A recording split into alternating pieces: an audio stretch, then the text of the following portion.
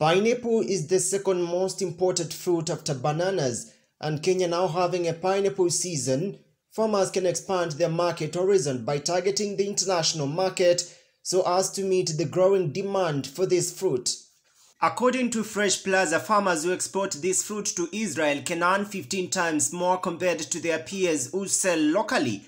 A similar size of a pineapple sold in Kenya for 60 shillings goes for 955 shillings in Israel, noting that this is very promising market for farmers as the country imports a big chunk of pineapple because of its local production is insufficient for its population thus rising its demand. With Kenya producing 1.5 tons of pineapple in excess, there is a need to focus on this international market to curb wastage that occurs due to lack of market. Majority of Kenyan farmers after losing the market, they end up hawking the fruits only for peanuts. Further farmers and exporters should also focus on quality and compliance on food safety regulations on fruits they grow so as to give the Kenyan pineapple a competitive edge over other competitors.